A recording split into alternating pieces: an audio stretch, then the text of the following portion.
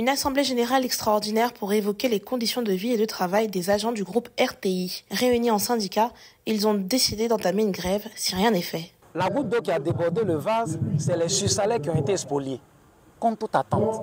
Quand on est autour d'une table, on doit pouvoir se dire la vérité. La direction générale a caché cette vérité-là et nous mettre devant les réalités le faire comme. Les agents du média historique ivoirien espèrent que leur situation sera résolue au risque de passer à l'action. Nous encourageons les travailleurs à poser leurs problèmes, mais à poser avec la manière et à donc euh, euh, appuyer les négociations qui sont en cours, qui ne sont pas encore rompues. Parce que la grève, c'est le, le, mot ultime qu'on utilise, l'action ultime qu'on utilise. Et comme c'est un service public de l'État, donc il est bon d'épuiser toutes les cartes, d'épuiser tous les débats avant de, pouvoir, avant de passer à la grève. La revalorisation salariale, les congés, la grille de métier, les frais d'émission et la gestion du personnel sont entre autres les principales revendications des membres du syndicat.